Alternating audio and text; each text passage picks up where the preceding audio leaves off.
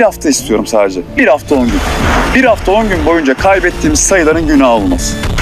Ama on günden sonra sayı alırlarsa öpüp başlarına koysunlar.